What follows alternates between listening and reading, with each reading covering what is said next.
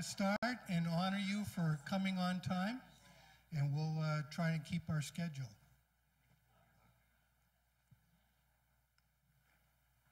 First of all, let me uh, welcome you and thank you for coming. When we birthed this idea this summer, John and I, the pastor here, uh, we were like, well, is this a good idea or not? And it's a timely topic.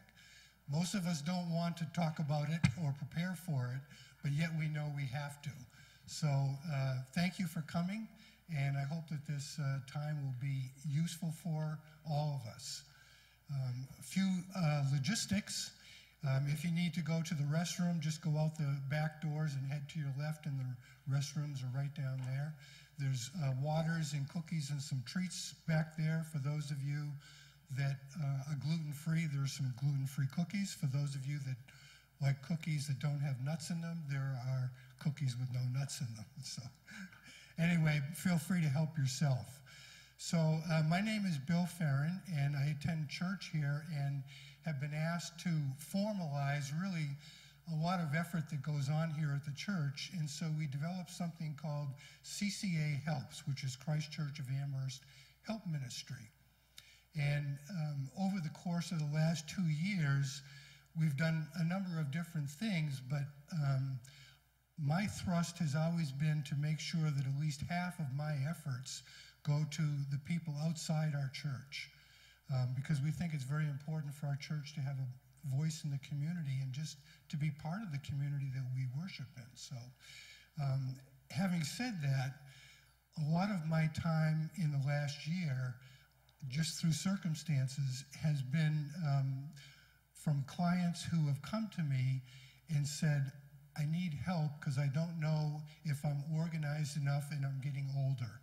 So um, that was the idea of the boomer bulge. You know, I was born in 1951. My wife was born in 1949. So in December of this year, we'll be 73 and 75. I'm the younger. and I, I, I, know, I, I know age is uh, sensitive to some people, but we can't let it be sensitive because those of us that are in the boomer bulge, we know we're getting older and there's no denying it. So, you know, here we are.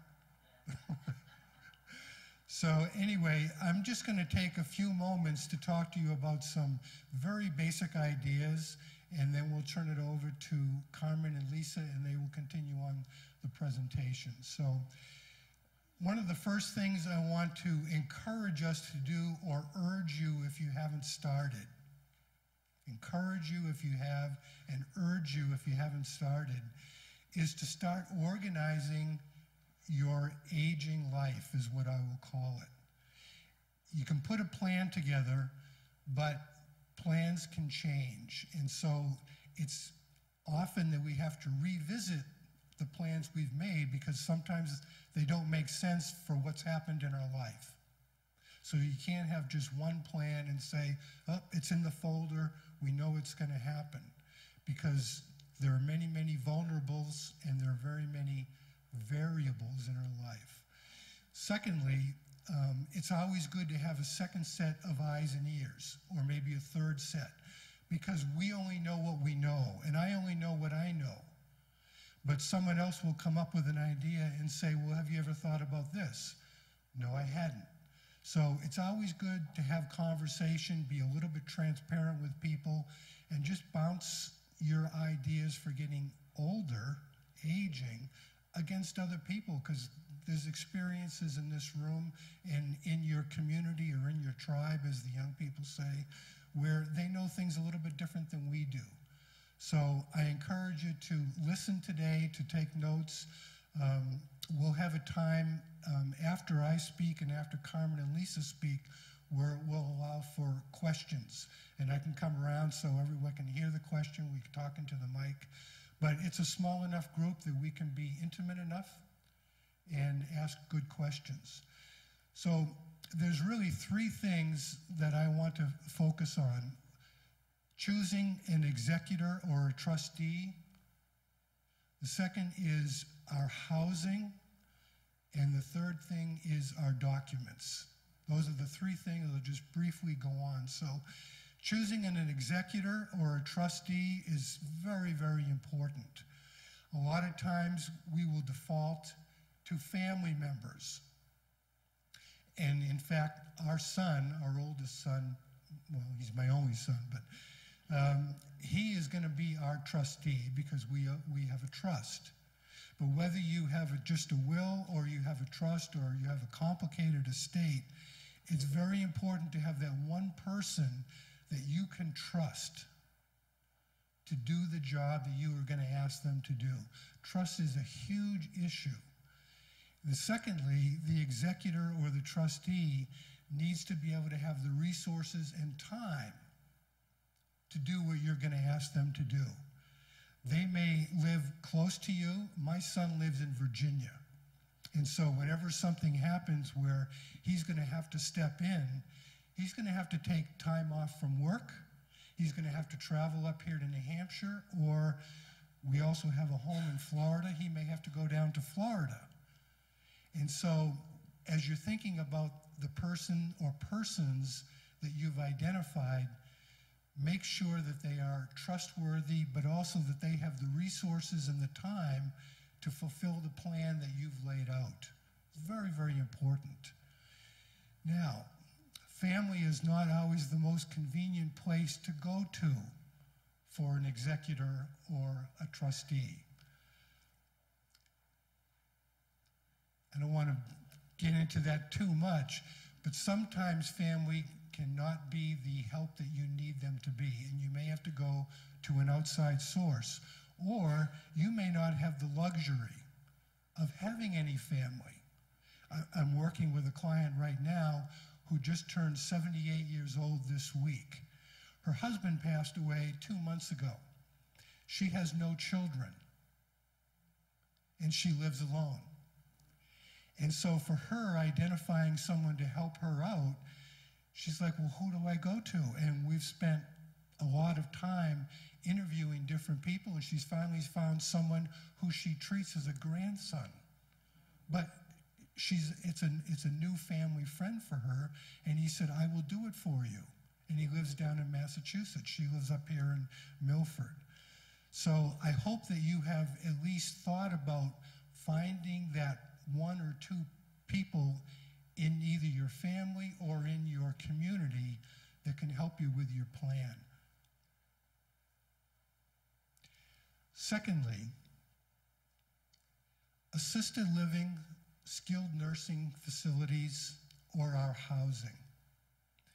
It struck me uh, this week as I was thinking about how I would talk about this that the Hurricane Helene just changed the lives of thousands of people, and it was outside of their control.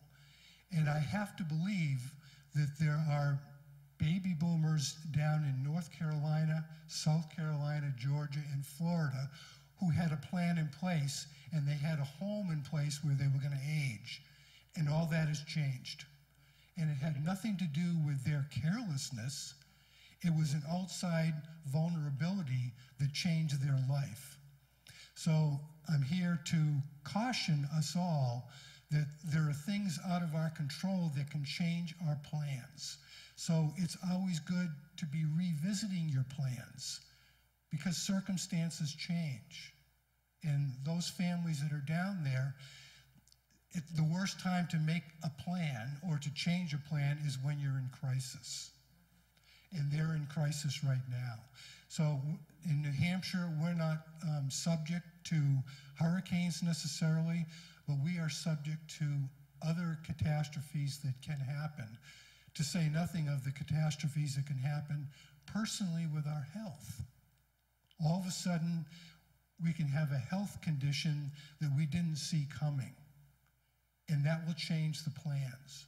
Or perhaps um, we're married or we have partners um, and one of our spouses is sick, but the other healthy spouse all of a sudden gets sicker, then you say, oh, well, how are we going to do this? So it's, it's very important that we keep talking about what our plans are when there are life events that change how we live. Housing in southern New Hampshire, I don't have to tell you, is extremely expensive. Assisted living in southern New Hampshire is extremely expensive. I was looking at some statistics, and for what they might be worth, assuming that they're somewhat right, it's about $11,000 a month to be in an assisted living facility in southern New Hampshire. According to what I read, it's about $10,000 a month to be in a skilled nursing facility. Now that's an average. Some of them might be 12 or $13,000 a month. Some of them might be six or seven. And the care that you get in those facilities will depend on what you're going to pay or not pay. So there's a push in the government, both at the federal level and at the state level, to have boomers age in their homes. And that's a good push, I think, rather than going into a institutional and a neutral setting. But sometimes you can't age in your own home. But the problem we have with the expensive housing in our area is if you're living in a home now that might be worth at least $400,000, because it seems to be the very basic condominiums are now pricing at 35, excuse me, $350,000, or your home is worth seven, eight hundred, nine hundred thousand dollars. But it's not a place where you can age. You have to think about, well, where can I age? Where can I have a master bedroom that's on the first floor? Where can I have a, a laundry facility that's accessible to me that doesn't require stairs? So if you're living in your home now and you plan to age there, but you have detriments to your getting older because maybe the bedroom is on the second floor, maybe the washer and dryer is down in the basement, the time to make the retrofits is now because it's not going to get cheaper next year. And you don't want to wait until you're in crisis to say, oh, we've got to get someplace on the first floor or we've got to retrofit our place. I encourage you to make plans for where you're going to age in place to retrofit that facility today. Don't wait till tomorrow. Very, very important. Now, documentation. I thought I would do this by showing you some object lessons. As, I said, um, we have two homes, one here in New Hampshire and one in Florida. So we have to think about portability.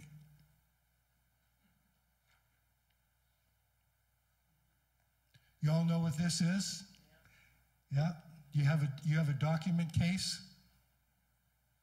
If you, yeah, see, not everyone has a document case. All of my, all of our life documents that are important fit in that little crate right there.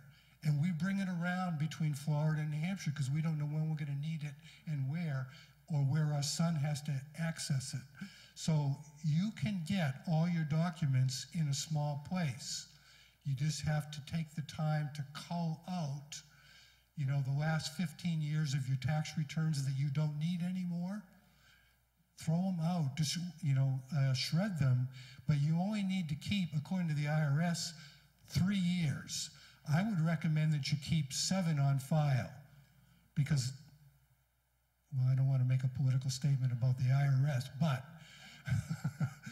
but seven years, you don't need 20 years of tax returns. You don't need five years of insurance documents that have now aged out.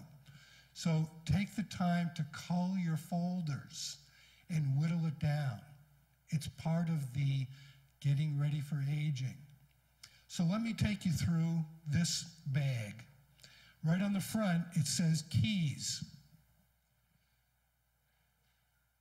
Keys to the house, keys to the car, keys to a um, storage unit if you have a storage unit, or the combination if it has a digital lock, uh, a safety deposit box in a bank, keys because in a crisis, someone has to be able to go find those keys. So this is a handy dandy book we have. Put a set of keys together so someone can get at your stuff if you can't.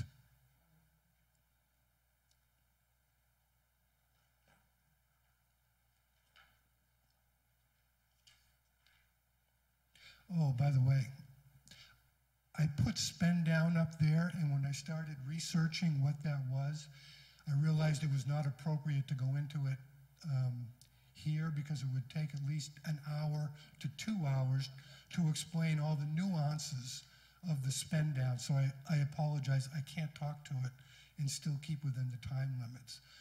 Um, but that's very, very important as well. I've got a document here.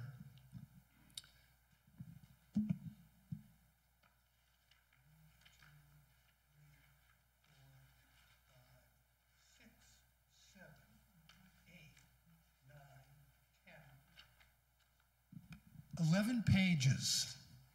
Anybody want to take a guess what this is? No. But, well, there are some instructions in it, Howard.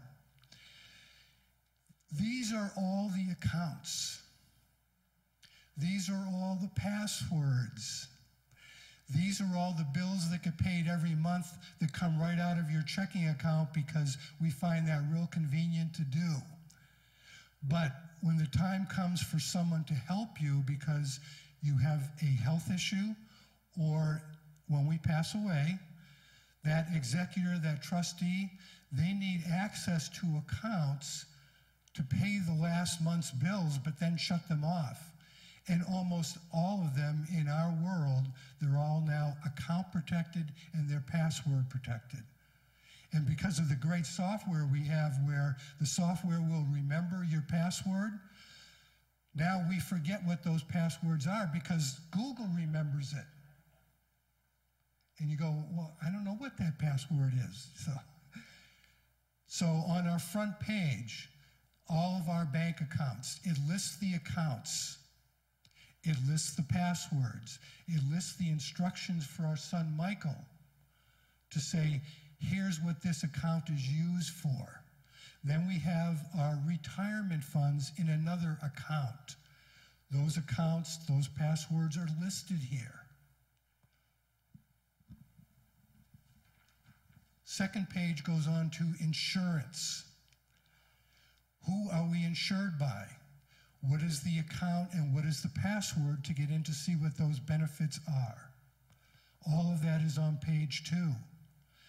Our pension information, which we're fortunate enough to have, who's sending us money every month? Social Security password and account. Then we move on to credit card accounts credit card account passwords. You get the flavor. But if you don't have this documented, the people that are going to help you in your aging process are going to be at a loss. And as much as you don't want to put this stuff down, I encourage you, you have to put it down. You have to keep it in a safe place, but you've got to record it somewhere so that people can help you. It doesn't do anyone else any good if it's just it, it doesn't. Fourth page is all of our information related to our housing in Florida. Fifth page, all of our accounts associated with our living in New Hampshire.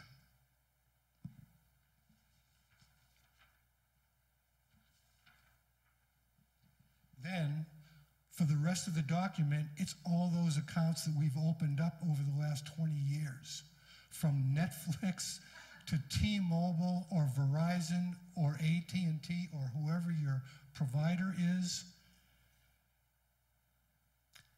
Well, some of them don't matter, uh, but I have a Microsoft account. We have airline accounts. I'm not going to go through them all, but there are four pages of these accounts, and I know you have similar volumes of accounts. And so you have to have similar passwords that are written out. Every year before we go to Florida, I use that time um, as an anniversary to update.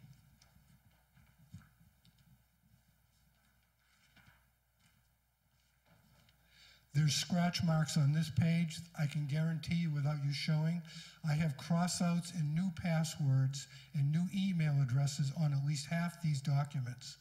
So every year I sit down and I say, okay, how do I revise this? How do I delete stuff that's no longer applicable? Because I'm trying to make it as easy as possible for my son, the trustee or the executor that you have to help you out, to make their job easier. They're going to do this for you, they're going to do this for us. But you can't leave them a big hole where they're hunting and pecking, going, Where is this? What is this? So I encourage us all to keep a document and keep it in two places. I keep the second document with my son.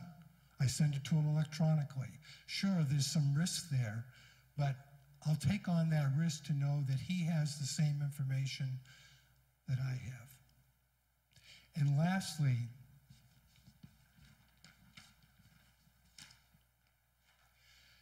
keep talking to your executor or your trustee to make sure that they still are willing to do what you've asked them to do, or if you've had a life event that changes, to make them aware of it. It's very, very important so that there are no surprises. When my mother um, passed away, I was the executor of her accounts.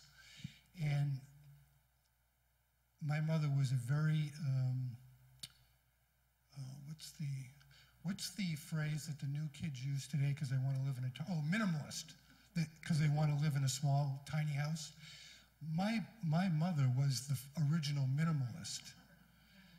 And I've learned from her, by the way, and, and Donna would attribute to that. If I don't need it for the last two months, never mind six, I throw it out. Yeah, it's, it's from my mother. But anyway, as a minimalist as she was, I spent hours working to get her estate in order to make sure that everything was done the way that she had asked. So they're going to do a great service for us when we need their help. With that, I'm going to turn it over to Jen, and she's going to introduce her two friends. And colleagues. friends first. So I'm Jennifer. I've been um, at this church for about 20 years. Um, been a nurse for about 37 years. A lot of it was spent doing hospice work, so our hearts are kindred like that. You may leave the uh, hospice world, but you never really leave it. Your, your heart and your passion is still there. Um, right now, I'm uh, working at St. Teresa's long-term care as an MDS director. You don't need to know what that is. That's for sure. It's paperwork and insurance. Um, but I hope to bring um, clarity to end-of-life issues there, teach the staff, educate the patients and the families. Um, just, I'm not telling you how old I am, but I will tell, I, um, just a little of experience. Uh, my parents are both gone. My dad died of an aneurysm suddenly. My mom had pulmonary fibrosis for 15 years. She was on hospice over a year. And so I've had the quick deaths and I had the long deaths. And my mom didn't have much, uh, so there wasn't much to go through, but I can tell you it was very emotional. And then I've had the opportunity recently to come alongside uh, a woman that just lost her husband and the plans were in place. And I said, Oh my goodness, how much easier this is. So I'm in the process of planning my funeral. I'm picking a plot, a headstone, I'm getting it all together. Um, but according to Bill, I got a, a lot more to do. So um, I'm going to get on that as well. Um, but I just want to say a little bit about healthcare. I've been talking about this for weeks, it's just come across my path. Um, we all want to be self determined, right? We want to, we want to make our own decisions in life, in healthcare, and maybe certainly at the end of our life too. Healthcare is not what it was. I don't know if any of you have been sick. COVID has changed everything, so be on top of things. Um, healthcare is different. Acquiring healthcare is different. Um, I, maybe some of you here, it's hard to get appointments. It's hard to um, schedule appointments, get test results, things like that. So be very, very proactive in that. And I'm sure my friends here will talk about advanced directives Bill talked about kind of finances and organization, but there's, we can be just as deliberate with healthcare. So I've had the opportunity to share life with these women, and they have a heart and a passion and a skill um, to help us be self-determined later in our years. There's lots and lots of options out there. There's a lot that we don't know. So Lisa um, is a good friend, and I've worked with her uh, for many, many years, and we still continue to, our lives still continue to touch. Um, you can tell us all where you work because we've changed jobs so quickly. I, I'm not quite so sure. And Carmen, also at the hospice house for years and years. She had a life in business before she came into nursing. Um, they're just two great, great people with great resources. And I'm glad you all came today. Thank you. Thank you. So, yes, thank you for having us. I'm Carmen, and this is my colleague Lisa. Um, so, the presentation we've put together today is there's a lot of topics, and we could probably spend an hour on each one of those individually. So, we're probably going to do a high point on most of them, and then if there's follow up questions at the end, we might be able to delve into them a little further. But we just want to be conscious of your time today as well. So, um, just a little bit, Lisa and I worked together at the hospice house for about a decade and uh, have ushered families and loved ones through that dying process um, hundreds of times. And so, we've seen things that have gone very well, and we have seen things that have been challenging. And so, what we have done as friends and colleagues in this space is think about how we can, in our community, help individuals make that be as best as it can be for them. Because what is important to me versus what's important to you and what's important to you can be very, very different. But having conversations about it allows people to really have what's best for them or what's important for them. So we're going to talk about things like advanced care planning. So we have some copies of documents here. Um, if folks haven't put aside who their healthcare agent is going to be, they really need to think about that. Um, navigating healthcare itself. So Bill touched a little bit about that. So hospice and palliative care, what are those levels of care? Where do they overlap and where are they separate? And he also talked about aging in place, and he really said, you've got to think about how am I going to age safely? And so we've really talked about the specifics. Bars on your bathroom, in your shower, making changes. Do you need to build a ramp? Who can do that for you? There are entities in southern New Hampshire that are approved by Medicaid that do those steps that can support what your needs are and meet requirements, and sometimes even there's funds available there as well. Um, the New Hampshire Commission on Aging, so there's so much resource available in southern New Hampshire. Now, much like Jen talked about, healthcare is challenging now. There are challenges in working with the state because they have changes in their staffing and their availabilities, but their website is quite, pretty robust, and there's a lot of things that you can do. I mean, Meals on Wheels, we'll, we'll talk about all the things that are there, but there are resources, and it's just taking that time to, to delve into them and find out what can be helpful for you. Uh, and then lastly, sort of the high-level things, takeaway um, and tips. So um, Lisa and I, as we spoke, have worked together for a number of years. We've even delved into a nonprofit to do this work that we're doing today having conversations, talking with people, encouraging folks to take the stigma away from talking about death, because ultimately that's what we're doing. All the plans that Bill spoke of, all the things that he mentioned, are to get yourself, your family, your loved ones prepared, comfortable, and able to accept that inevitable end that we're all going to face. But it doesn't have to be as scary. It can be something that is I think of it, and Lisa and I have talked about this before, it's a gift. It's a gift. If you give them these tools, they can be more comfortable in their work to help you. The shoulda, coulda, wouldas will haunt you. I, have said that so many times. Oh, I should have done. Oh, we would have done that if we know. Oh, we could have if we only knew what Grandma wanted. So have that conversation with her, even though it feels weird, right? It feels awkward. It's okay. It's okay to feel awkward, right? That's life.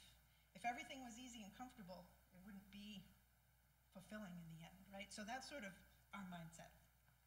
So, Joe, if you want to go to the next slide, this is something I, I love this quote, and I'll, I'll use it till, till my last day. I love it.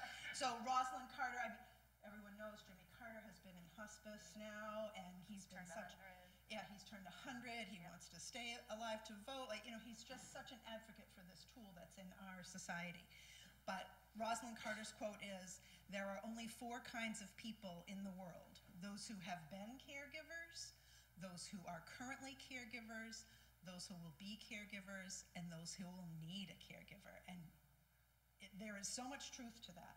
So coming at it from that perspective is, I will be in each one of these positions through my life, and if I can be thoughtful in that and know what to do when I'm in those places, or have a sense of how I'm going to deal with it, the better off I'll be.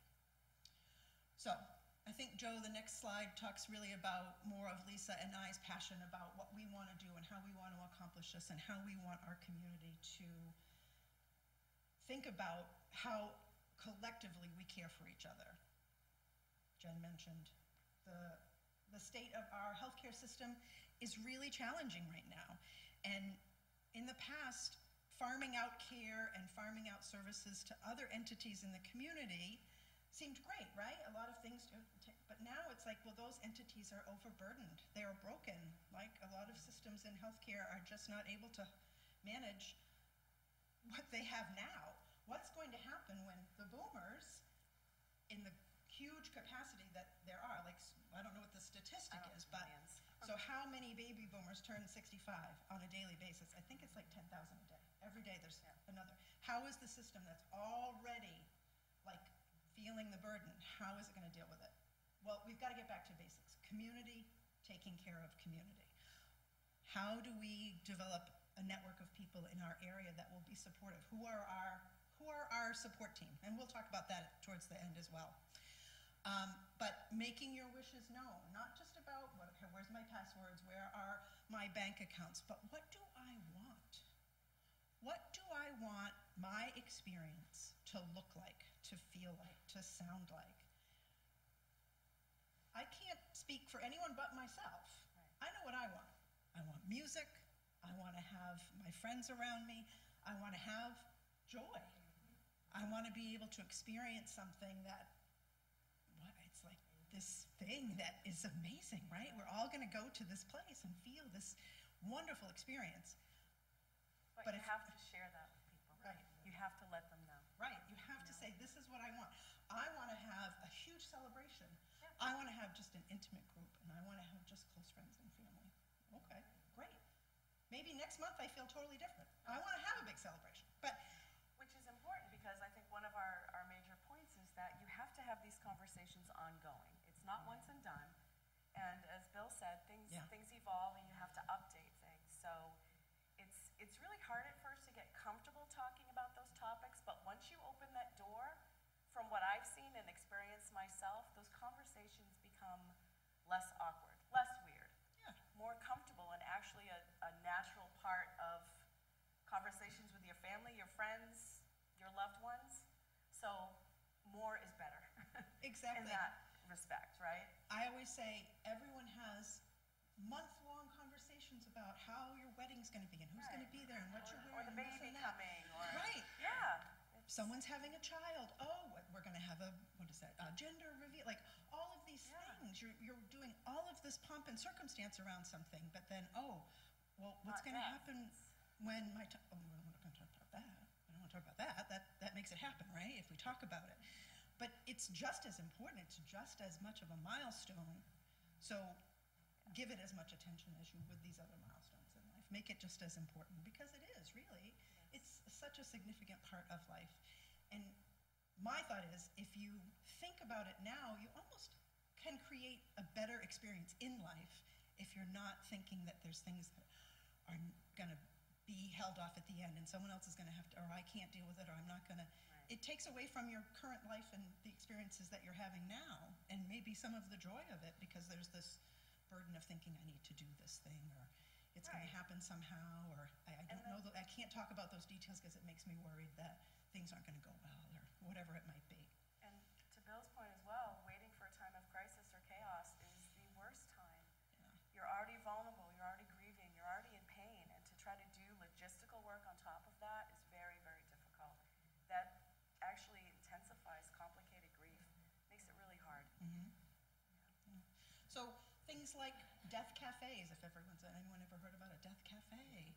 We, we, we, we use all sorts of euphemisms, right? The legacy lounge, the mortality meetup, like all these Death places. by chocolate. Right, death by chocolate. Like we use all these Which euphemisms, done, but so. it's really just like this: a place to come and have a group of people get around the table and talk about what their questions are, what their fears are, what their concerns are. No judgment, open, easy. The more that's available to you, the more likely you'll have those conversations, and the more likely you will be able to express your, your wishes and, and have those conversations. Uh, so advanced care planning, that's very important. We've, I grabbed a couple of copies. I just printed them off.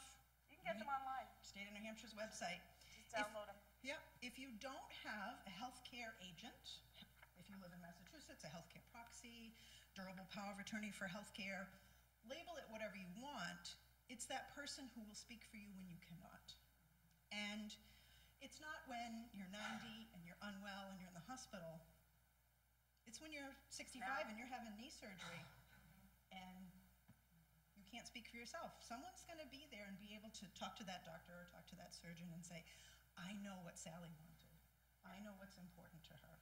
So making sure that you work with the person, tell them you want them to be your healthcare proxy or your agent. Begin those conversations. Have those Yep. conversations. Again, telling them, this is what I would want. Should this happen, this is what I want to do. Should this happen, this is what I don't want to do. And I think sometimes that's the more important conversation, what I don't want. And that's everyone's individual choice. But telling someone is going to let them do and carry out your wishes as if you could do it for yourself. And you often should pick an, pick an alternate as well. I mean, because sometimes in life, right, life happens. Person A is not available. Something has happened to them. They're out of town. They're on vacation. This just happened to my cousin recently. My aunt fell, and her number one person is her son, and he was in Greece on his honeymoon. so my cousin had, and so his sister had to step in.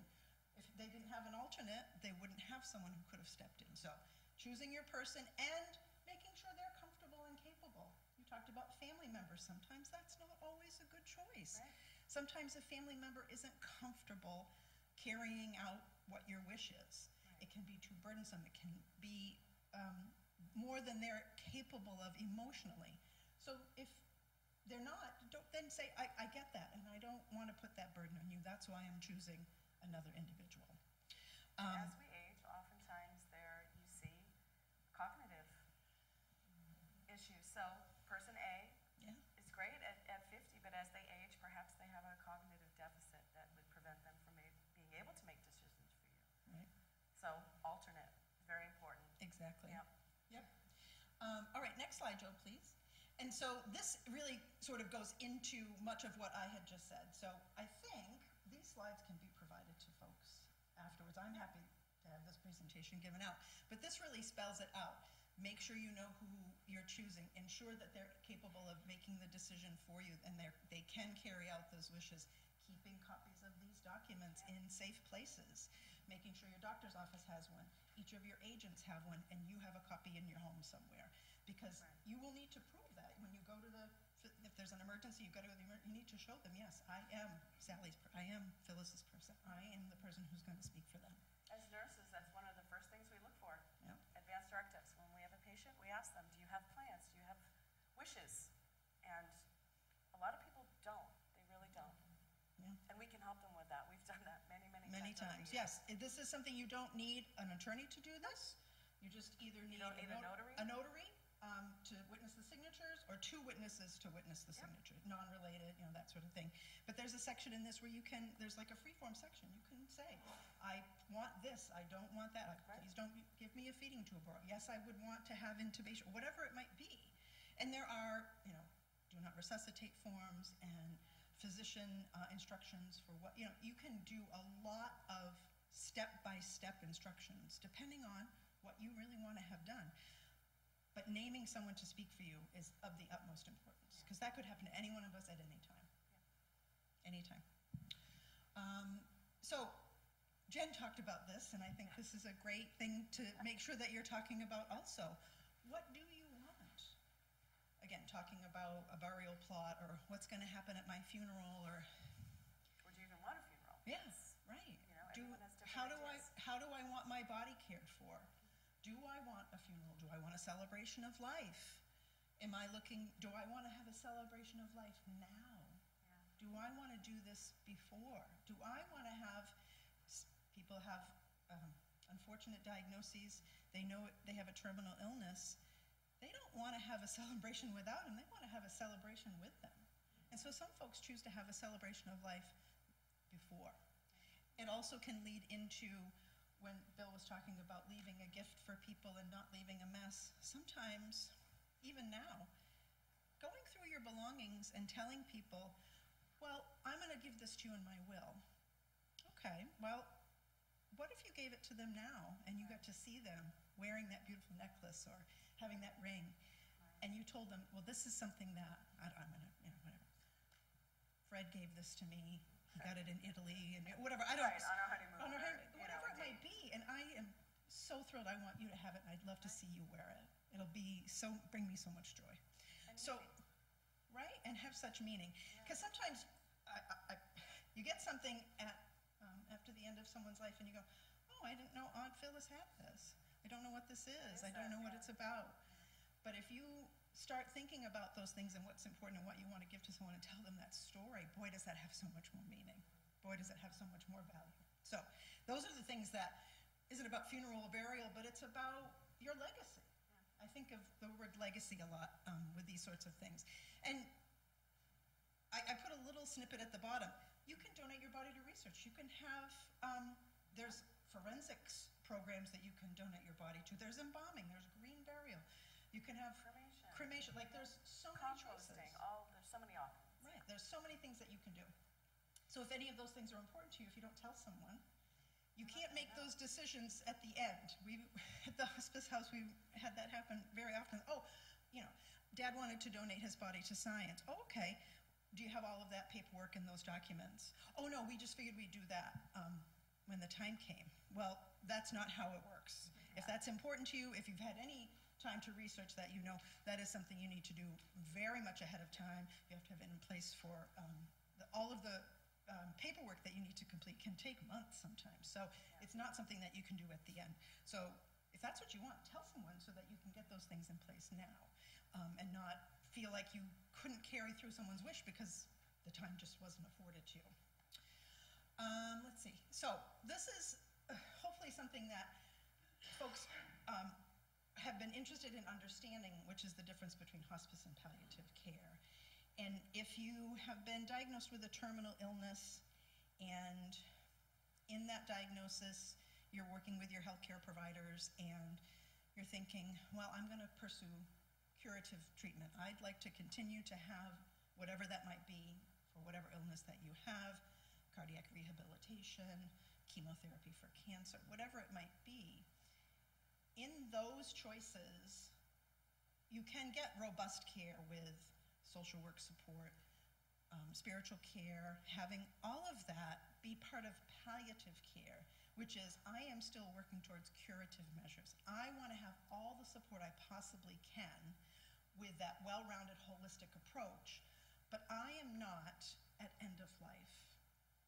Hospice care is really meant for end of life. And I'll use the example of Jimmy Carter. The Medicaid criteria is six months or less, but it does not mean that's a hard and fast No, period of time. Best guess, Right. based on provider and, Right. Because, you know, physicians are smart, but they don't know. right? This is really not a contract between them and you, it's a contract between you and your maker. right? And so that process is different for everyone.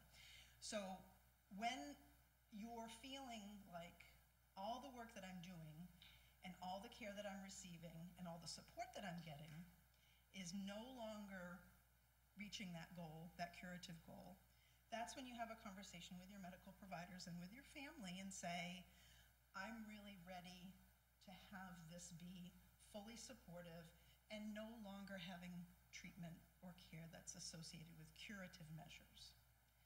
And that doesn't mean you're not going to keep getting care. No, In actuality, it means you're going to get more, More care. And I think that's the big, I think that's the big piece that people, oh, they're going on hospice now. There's- That's it. That's They're- the end. They're not gonna have anything now. They're not gonna get anything now. It's kind of the opposite. You're gonna start getting so much more support because people know in that finite amount of time that you have left, your needs are so much greater. Your family needs are greater. And what is important to you in those moments might be having time with my family. It might be making sure, some people are so concerned, making sure that my last things at work are done. Make, right, I mean, the- I- I've seen it so many times, right? Bill, you know, John was working right up till the end, because John was so focused that that is what he wanted to do. And if that's what you want your time to do, then great. I'm, I'm saying whatever's important to you is whatever's important to you. It's quality of is the- Exactly. the focus of hospice care. Exactly. And whatever that quality of life is to the individual. Right. Everyone's different. So this slide really talks about palliative care and who those team members are within your healthcare um, system. Uh, if you go to the next slide, Joe, this is really, I love this little graphic. It says, when you choose hospice, it's not saying, I'm going to make this happen now, that's it. It's saying, I want to do this in the most comfortable, softest, easy landing way I can. I'm going to use the things that are available through hospice to help me have this be as best as it possibly can for me. People use the phrase, a good death. Well, I don't know what that is. I know what it is for me. I know what I think a good death is. And what I think a good death is today might be very, very different than what I think a good death is if six years from now someone tells me I have a terminal illness. I might feel differently about it. But that's okay, because you can change your mind. You can say, right now, this is what I think is good, but I'll change my mind later if that's not where I am mentally and physically, because I have illness. And I think the things I hope for are a little different than what I was hoping for when I was, you know, 10 years younger and not in ill health. So, and it's okay to change your mind. That's how I feel about it. So next slide, please. Um, and this, again, uh, more explanation, and if this is helpful for people as far as having copies of these slides, um, you're welcome to. But hospice really is that defined period of time when a provider says, along with that patient, we feel that given the trajectory of your illness, it is likely that, given its natural process, you have six months or less. But some people stay on for a year. Right. Some people Or, stay on. or they sign off hospice. Right, people- sort of plateaued and. Right, people graduate, they go Yeah, off they do hospice. graduate, yeah. Yep, but you can go right back on hospice. It's not a, once you signed on, that's it. You can never make a change, or once you've graduated and come off of it, it doesn't mean you can never go back onto it. So the, the benefit of hospice through Medicare or through your private insurance, whatever you have and whatever your age is at, gives you that flexibility of being able to come on and off hospice, depending on how you're feeling and how your illness is progressing. And the overall goal, I think, is to meet you where you are. If you, Mm-hmm. if you elect hospice care, you know, meet you where you are. That's Yeah. underlined. So this is a graphic, it's a little blurry, sorry, but it just sort of shows you how the two levels of care overlap with each other, where they are different. So no life expectancy limit, life expectancy of six months. Both are covered under Medicare and Medicaid. Um, but the quality of life and that emotional, spiritual, and physical support, especially things like pain management, um. Things that are important when it comes to any symptoms that you might be having. So pain always, you know, pain always sits at the top. I think people think of that the most. But what if you have an illness that causes nausea? What if you have an illness that causes you increased Anxiety or- anxiety? Like all of those sorts of things. So those become paramount in addressing during those final months. Um, versus palliative care where you might still be getting aggressive treatment and having radiation or chemotherapy or that sort of thing. Um, I'll have you go to the next slide, Joe. So, Bill talked uh, a lot about how do you start working and making plans now to have your house work for you when you're aging and your mobility changes and your strength might change. And so these are very specific things. So inside your home, grab bars in the bathroom, make have your shower be a walk-in shower so there's no tub that you have to go over. Handrails on all your stairs. What if you need to widen your doorways because you're now using a wheelchair or a walker for mobility? Um, ramps and chair lifts if changing um, a sleeping, you know, a bedroom to the first floor isn't an option and you need to have one of those. Sometimes that's the most appropriate. Trip hazards.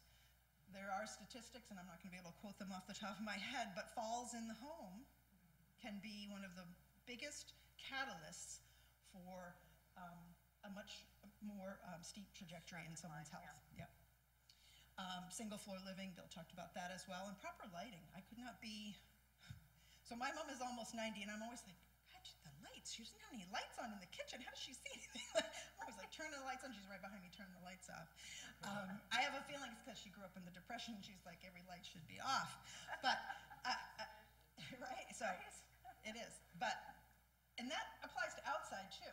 Yeah. So how many times do you come home at, you leave, especially this time of year, you leave during the day, Yeah. it's light up, but you come home at seven, God, it's already dark, It's and. I forgot to leave the outside light on, or I don't have motion sensor lights, and, you know, you're fumbling with your phone thing, uh, your phone camera, or your phone light to get your key in, all that sort of stuff. Safety outside is important too. Who's gonna take care of, put your trash out if you're not physically able to put your trash out anymore? Who's gonna plow your driveway? Who's gonna mow your lawn? All of those things suddenly become a lot more important if you physically can't do them anymore. So sometimes people already hire people up, but sometimes they don't, and if you haven't accounted for that, happens, yeah. So I think the next slide, Joe, um, just talks about other tools and services. So um, things that you can get. So we talk about um, St. Joe's Closet. If Right. someone doesn't have the means to purchase some of these things, there are tools that are available: canes, walkers, wheelchairs. Yep, they're open every Tuesday, exactly 10 o'clock. Um, so, you know, um, video doorbells, like, if you're not comfortable answering the door, there's, I, I think a brand name is like Ring. or- Ring, yeah, But or- th- they have also, but if that's a way for you to be able to use technology to know who's at your door, whether or not you're going to answer your door, um, using everyone, I think. If, would, if this was a fire marshal speech, the fire detect, the fire alarms and your carbon monoxide detectors. Right. But guess what? If everyone's heating system in their home should be checked annually, and if it isn't checked annually and there's something wrong with it, a carbon monoxide detector is going to help you. So these are things in general we all should be thinking about, but as you age, it can be even more important because your reaction time to things might not be as rapid. Um, so uh, I mentioned earlier, there's a gentleman, his name is Christopher Wrench. He actually used to work at Home Health and Hospice Care with us, but he has a home um, assessment and renovation company that is approved by Medicaid, and he will come and say, these are the things you should be doing in your home. These are the estimated costs, and there are other entities, but we know him, and so um, I wanted to mention him. But transportation assistance, maybe you need help getting to your appointments. Maybe someone needs to take you to the hairdresser now. You can't do that for yourself. So those are all little tasks, and we still want to get our hair done, girls. So how are we going to get that done? How are we going to manage that? There's services. So the state of New Hampshire's website, the um, New Hampshire Council on Aging has transportation services there. So again, you have to be patient. You have to work ahead of time because their resources are limited. Um, we've come to find that out as the post-COVID years. I think that's what we're calling them right now, is the post-COVID years. Yes. Navigating these things are it's it's different. Um, and I can't say enough. Have someone who's an advocate for you. Have someone who you feel is a partner in this process. Someone who can help you do all of the things that you need to do. It might not be your healthcare power of attorney. That's the person you want making healthcare decisions. It might be someone else, a valued family friend, or someone who can say, "Oh, I'll make those phone calls, or I'll sit with you and I'll help you sort of map out how you're going to get that done." But don't feel like you have to do it all yourself, right? We're a community. We want to help each other, right? So. Uh, if you go to the next slide, Joe, I think this is very much what I was just saying. Who is your support team? Your family, your friends, your spiritual group, your caregivers, your service providers. Your community. Yeah, your community. Um, and I, I'm going to keep referring back to it. We as a society are needing to support each other in a different way now. We're needing to come at what our needs are through life, through aging, in a different way because we're missing some of those big global services that used to exist, or those big global services are being overburdened. Um, and so, if we can begin talking comfortably with each other about how do we navigate this, how do we get this through this part of our lives, you'll come to find out your community members are probably thinking the same things or needing or wanting the same things, and you can help each other. I think the last couple of slides So this is a, a picture of the um, state of New Hampshire's website. All of the links, I could go on for an hour Yeah, with each of these links. so but much information, And yeah. whatever is important to you. So some of the links that are having to do with transportation or meal services or support like that, or is it, I need help with a Medicaid application Right. process? Insurance questions. insurance, yeah. like, uh, all of that sort of thing. Um, so they're there, and they're pretty robust. Um, so investigating that is a way to use a service that already exists through the state, which often is at low cost or no cost. So that can be important to some folks. Um, so this really sort of uh, high level touched on a number of things that I felt like were important, and that has to do with meal delivery services, home and community-based care, those long-term care um, supports. Do you want to stay in your home? How can you accomplish that? Do you have the funds to do it? Are there home services that are capable of accommodating that your care needs? Those entities are sort of stretched um, to the max as well. So sometimes it's hard to acquire that support, Right, and there's a finding to someone to come and work in your home. Um, but the state of New Hampshire does have a robust volunteer program as well. So maybe you're not at a point where you need to help, but you're willing to help and you want to volunteer. So there's volunteer options through them as well. And then I think the last couple of slides, yeah, are sort of takeaways. So I could not reiterate more strongly when you are making your wishes known and you're asking someone to carry things out for you, and, and Bill mentioned this too, choose a strong advocate. Choose someone who is willing to speak for you, willing to do the things that you're asking them to do. And that's not judgmental in any way, it's more don't ask someone you know that it might be even harder for them to do the things that you're asking. Because then you're, you're giving someone a, a task that's maybe beyond what they're capable of doing. So a strong advocate, someone who's willing to get on the phone, talk to doctor's offices, talk to other entities, someone who um, can speak for you when you cannot speak for yourself. But personal care, finances, funeral, navigating that healthcare system, asking those honest questions of your healthcare providers, telling, having that honest conversation with your family. It, I, again, I know it feels weird, sometimes it's uncomfortable, but it's short-term discomfort for real long-term gain Gain and comfort. and comfort. Um, using those services available through the state, federal agencies, um, and making those safety measures in your home. Again, a lot of this is repetitive, but it's because those things are so vital.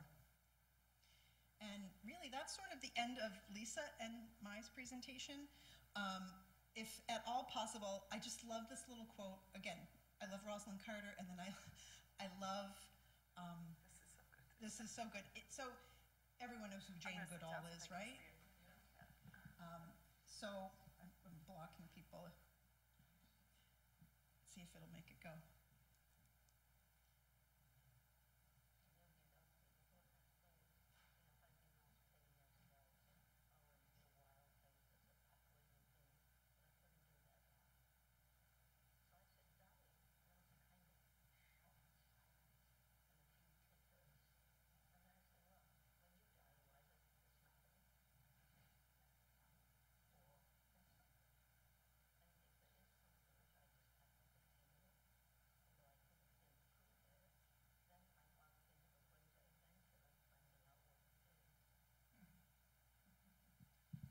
So I, just love her saying, hey, listen, I, I don't know for sure. I can't prove, she's a scientist, right? She's a biologist. I can't prove it, but I think there's something else. And that's such a great adventure, the next great adventure. I just love the way she turned it. So I like to end with that. So I guess we can open it up to questions.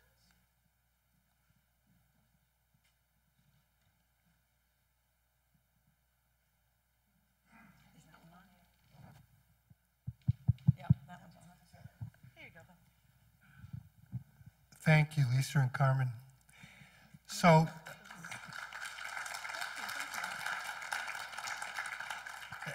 as I said at the beginning, I want this to be an encouraging time or an urging time.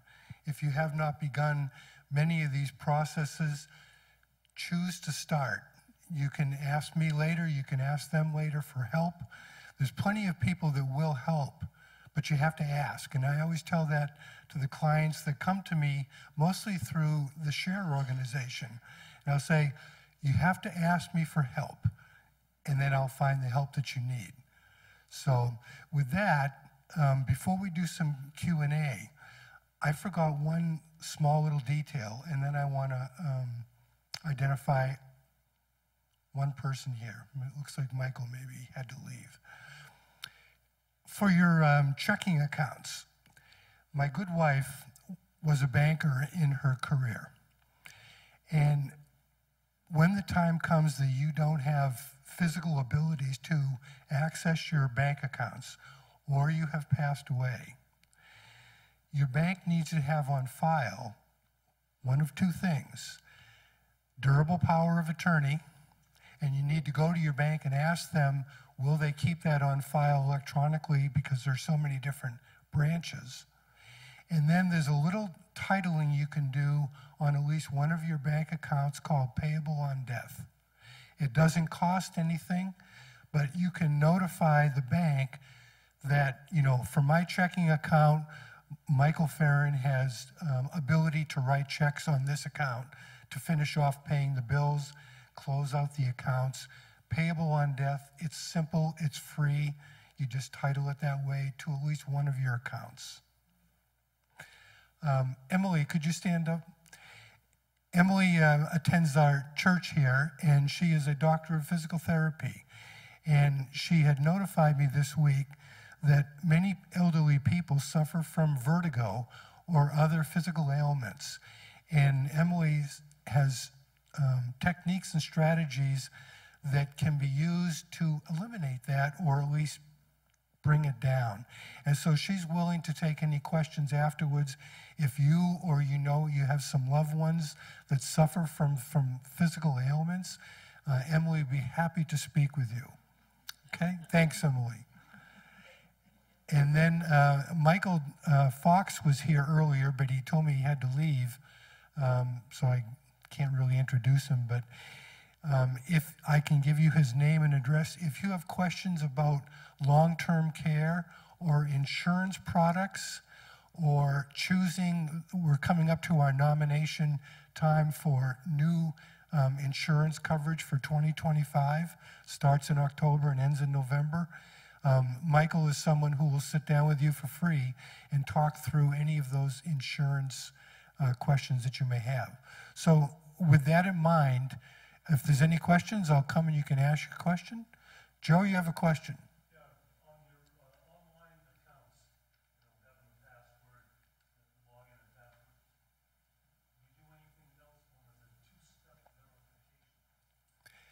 No, that, that's a difficult one because usually the two-step verification, and a great question, Joe, usually they're going to text your phone or uh, send you an email.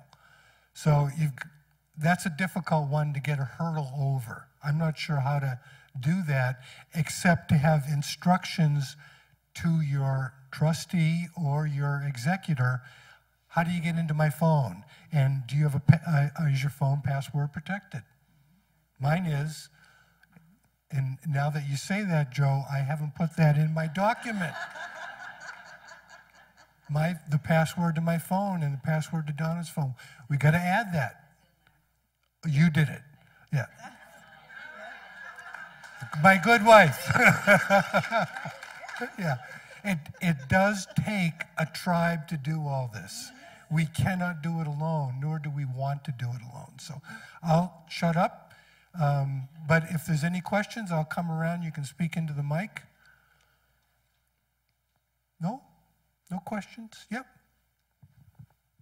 I don't really have a question. I, I just want to applaud what's happened here. I, I get on a soapbox with a lot of my mature friends that we need, because I'm the same age as Donna, okay? So it's okay, Donna. It's okay. I, am, I get on a soapbox because they need to let people know. I want a party. I want balloons. I want dancing in the aisles. I don't want flowers. I just want a party.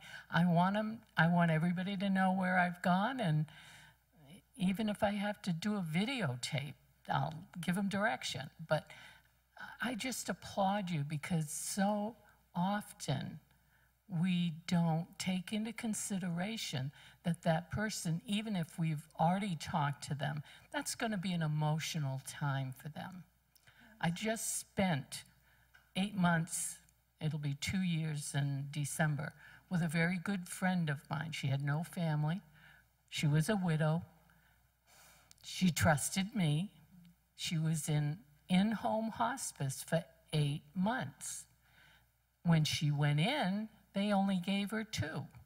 But I did such good care that she, but that time with her, and I think that's one of the things that maybe you didn't talk about, it, it can be really special. Oh, she, she went home to be the Lord in December, and we talked for weeks about what it was going to be like to celebrate Jesus' birthday with him. I, I, I'm not a caregiver. I, I really, that's not my gifting, but it was the best thing that I could have ever done. And from this side of it, trust me, you can do it if all things are possible through Christ who strengthens me. And believe me, that scripture kept being repeated lots of times. But I just applaud you and I thank you very much. I came to this because I wanted to make sure that what I'm doing, and I got mine in place, and I tell everybody, you know, I want a party. I want a party. I, you know, my doctor knows what I will accept and what I won't accept. I mean, there, I've got all my people in place. But one of the things is, all my people are my age. So I've had to find somebody that can come in. So thank you for, for what you're doing. I praise the Lord. Yeah, Alan. I don't know about the rest of you, but I was going to go out to lunch, but now I'm just going to go home and start digging out paperwork. it's overwhelming. But seriously, I'm wondering about um, do you have any ideas? Because the amount of work that the executor, no matter how much we do, is going to end up with, is there some way of compensating or some ideas? Uh, another good question, and it is a lot of work. When I um, was asked by my mother to close out her estate, um, my siblings told me I had permission to pay myself for my time. And that was a very important thing for me. I was willing to do it for free because my mother. But they said, no, you're going to take time and you're going to spend time doing this. You know, give yourself some money out of their account to compensate for your time. So that was permission that I got that I was glad I did. You can write that down, yep. Jim? Uh, I was uh, a co-executor with a bank when my father passed away. Um, and that had some benefit to it, being a co-executor, but it also slows down the process in some ways. So that, that's something that might be worth thinking about. And Bill, you were talking about your son, Michael. Um, so sometimes a co-executor is, is helpful to have a fiduciary involved. But here's a question. Um, a lot of us have more than one account. Do you see benefit in having more than one uh, child, for example, being a co-signer on different accounts, or does that just confuse things? Has that, anybody had any experience with that? I can speak to that just briefly personally. Go ahead- go because ahead. I live here locally in New Hampshire, and my sister lives in Michigan, but she is a signer as well, because if for some reason um, I was unable to, she is far away, but she could still authorize it. Um, so having two people makes sense because either way, someone else can step in if one person is unable to. And that's, we did that, you know, we talked with our estate attorney about what would be best. Not all of the accounts, but there's one that's in trust so that she can do it as well. So I don't know if that's sound advice for everyone. Everyone's financial circumstances are different. And some people, everybody lives locally, and some people, not everyone lives locally. But that's how we addressed it, so that someone could do things if something happened to me. Because if it was just me, you never know, right? Life happens. Yep. Um, I don't need a mic. Um, okay, executor and trustee, like, when do you have one, when do you have the other? Do you need both? Do, my father-in-law passed away, we have two trustees and an executor, why do I need all that? So an executor generally is attached to a uh, last will and testament. A trustee is generally attached to a trust that is going to manage the estate. Okay, so that, that would be the difference, but the function is the same.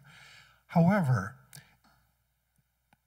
to be legal, and I know some people haven't done this, when you pass away and you have a last will and testament, you are to file that with a probate court.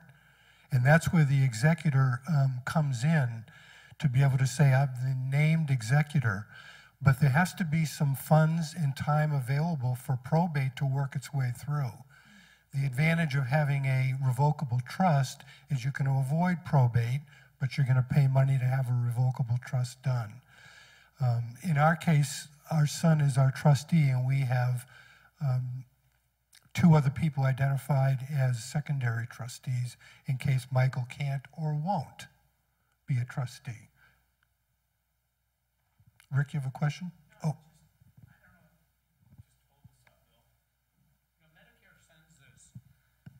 Medicare sends us to, uh, I don't know, they send one to Vicky, but not to me. I'm not sure why.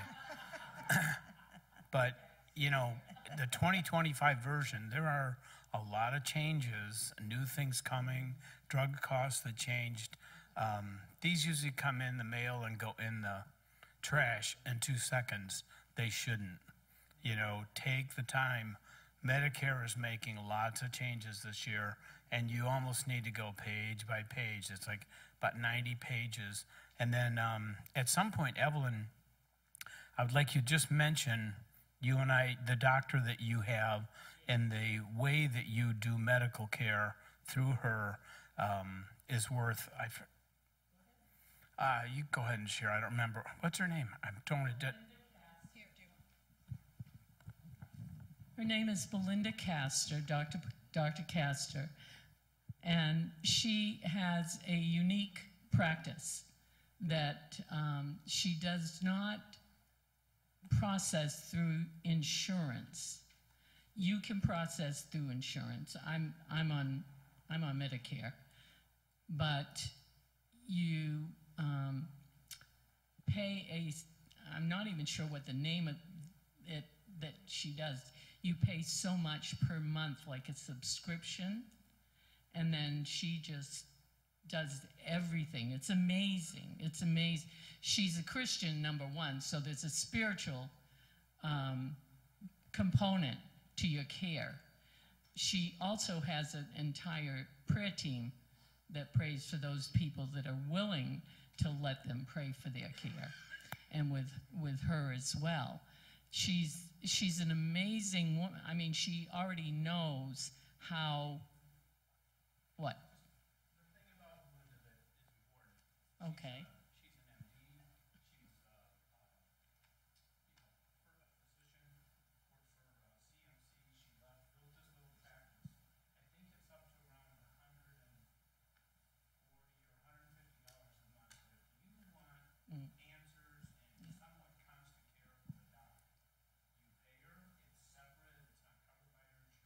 Right. Yeah. Yeah.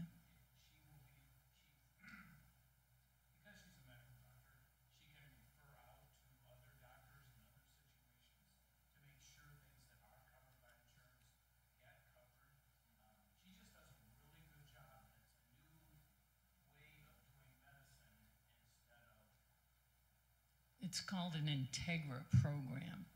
And she, she's amazing. And I'm, I'm not sure this is a good commercial, but when, when I had my stroke, within a half hour, she was at the hospital. I mean, she was right there. And, um, you know, she, she's just an amazing, amazing, amazing doctor. Her name is Belinda Castor, C A S T O R. She's, she's, she has her own practice. It's in Manchester. In Manchester, I'm sorry. In Manchester. Um, I don't know the whole, just put her name in. You'll, you'll find her. I mean, I can give you the number for the practice. But she's, she, it's, we need to be, we need to be looking at things because you said earlier about the health care. I have so many friends that are struggling with getting in to see a doctor, with the referrals, with every, just what you said before. It's awful. It's awful. That's why they still call it the practice of medicine, I guess. But it's, you know, it's just terrible. So you, you gotta look at options. You gotta look at other ways of, the same way we do anything else, other ways of doing business. Okay, I, I want to um, honor time. So it's um, about 1:15, and we said we'd try and go about 70 or 80 minutes. You're welcome to stay and ask questions, but again, just to honor your time, or if you have to get someplace else, you know, we'll say we're done. But feel free to stay around if you have questions for uh, Lisa and Carmen or myself. I just, we have, um, we usually, when we do these presentations, your name and your email address, if you'd like to get materials from us, follow, if you have follow-up questions, if you would like us to come and present more in-depth on one particular topic versus such broad topics that we did today, um, we're happy to. I have a number of books here. Um, one of my favorites is The Beginner's Guide to the End.